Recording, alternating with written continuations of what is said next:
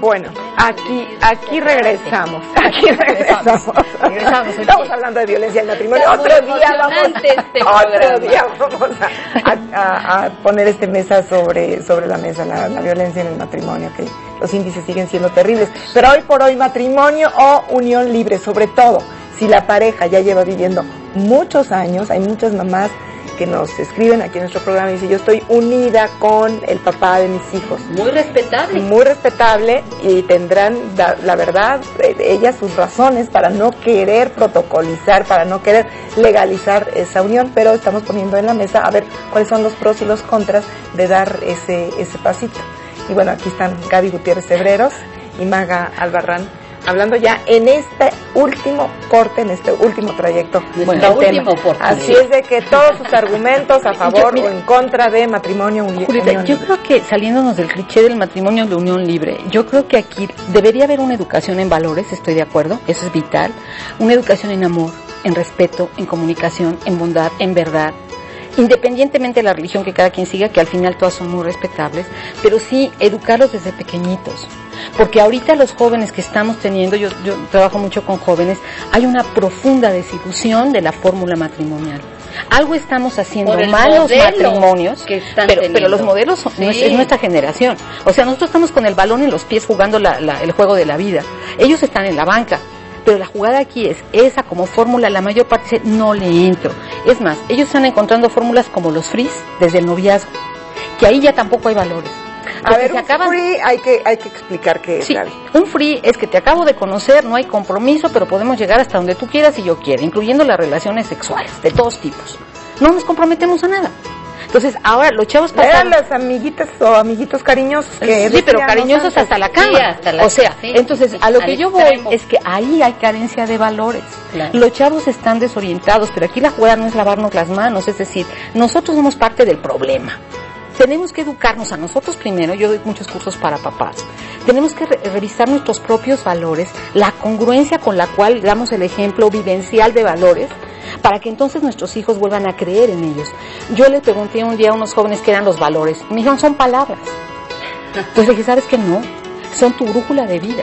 Entonces tenemos que replantearnos la educación. Un valor es lo que nos significa. No solo de padres, sino la educación a nivel de la SEP. Lo que prefieres. Cambiar lo que, te le das, a lo que le das importancia. Sí, es la estrella polar de la vida de un ser humano los valores. Independientemente de si se casen o no se casen, aquí lo que estamos fallando es en dar valores con el ejemplo. una falla, yo creo, de cualquier relación es no hacer ajustes.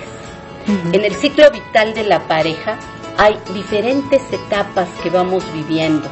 Igual que el, ciclo vital del ser humano, la pareja nace, tiene una infancia, tiene una adolescencia, una madurez, una vejez y una muerte.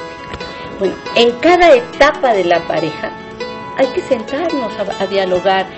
¿Cuál es nuestro proyecto de vida? ¿Sigue siendo común el tuyo y el mío? ¿Hacia dónde vamos ahorita que tenemos hijos chiquitos? O, ahorita que acaba de nacer el primero. ¿Qué tal esos contratos prematrimoniales que ahora se van a poner de moda como allá en Estados Unidos? Sí, de, de determinado o tiempo. refrendos que ahora hay de cada año, cada dos pues años, refrendamos nuestro matrimonio y vamos a revisar cuál es el sustento y cuáles son todas esas características. Pues esa es una que matrimonial. La sociedad está haciendo ajustes. Queremos seguir juntos, tú y yo. Ahorita que tenemos hijos adolescentes que nos traen como en la guerra de las galaxias, ¿qué es lo que queremos? Y ahí entra la comunicación nuevamente de decir cómo vamos a poner los límites los dos. Oye, no se vale que el papá sea el, el, buena, onda, y la mamá sea la bruja de la película. Y en cada etapa ir haciendo... Oye, desde unas preguntas tan básicas como, ¿te sigo cayendo bien? Eh, ¿Te gusta cómo huelo? ¿No? ¿Quieres, este, te es placentero dormir conmigo. Exactamente. Cuando me levanto en la mañana, me gusta verte, me gusta verte. las mujeres tenemos el síndrome de la maternidad y ese esposo deja de ser esposo y se convierte en nuestro hijo. Y lo estamos vejez- criticando todo el tiempo y le estamos diciendo así no te ves bien y esa corbata no te queda. Y, y ahí entra el respeto y la aceptación. Pero además, ¿sabes que Maga? También tendríamos que de- seguirlos viendo como amantes.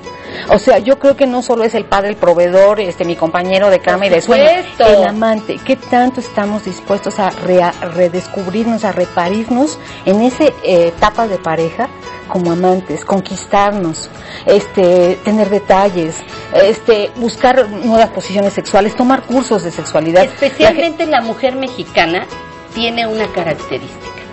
Deja de ser esposa en el momento en que se embaraza y ya tiene otra ilusión que llena su vida. Bueno, por ahí y el señor que se siente y desplazado. solo. Y luego se quejan Claro. de que andan buscando. Sí, no, yo No, creo eso que no se vale. Yo ¿eh? creo que no se vale. No es justificable. Nunca si la señora está muy ocupada atendiendo a los bebés, no es justificable que yo voy a ver para otro lado, porque no claro, me pelas. No. claro. Pero nunca acaba uno de aprender a, a esa capacidad de asombrarte. Y, y sobre todo, yo quisiera decirles que independientemente de la fórmula, decirle a tu pareja, me siento tan orgullosa de ser tu pareja, gracias por ser mi compañero en el camino. O sea, cada vez que hacen el amor, de veras es un regalo de, de todo lo que yo soy al otro. Entonces, de alguna manera, esa profunda gratitud, no dar por hecho. Ah, ya llegó el viejo, ah, ya está la vieja. Eso se me hace horrible. Y ahora me se cumple. me hace denigrar. No, no, porque el que cumple en la relación sexual, cumple, lo hace por cumplimiento, cumplo y miento. Y eso denigra el profundo sentido de la relación sexual, que es transmitir el amor con todo lo que yo soy. Todo lo que yo soy está en juego cuando hago el amor contigo. Claro. Entonces todo eso se está se ha perdido, pero además educar desde las primarias a que los niños aprendan a amar todo su cuerpo, a que a- porque mucha gente le tiene asco hasta, sus- hasta sus órganos sexuales. Entonces, entrégate, ay güey, pues me voy a entregar desde lo que me da asco. Y Entonces que- falla educación, Y falla que el educación. amor no es un sentimiento, es una decisión. A mí me encantaría decir un poema.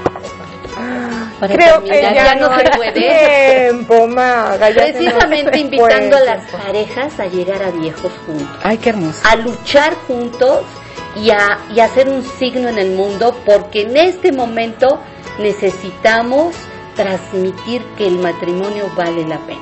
Ay, pues nos quedamos con eso, con todo lo que nos ha dicho Gaby Yo, Gutiérrez. yo lo que quisiera agregar nada más es que cada pareja se sienta absolutamente libre de encontrar la fórmula que necesite sin culpa. La culpa los entierra, chavos. Sí.